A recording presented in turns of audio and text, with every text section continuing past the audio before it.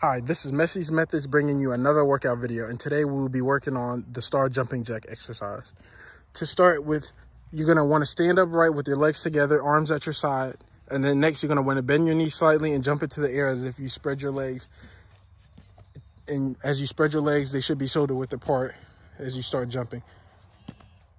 Your body should form an X in midair, land softly with your feet together and get back in the start position. And with this exercise, you will be working on your entire lower body and slightly the upper body.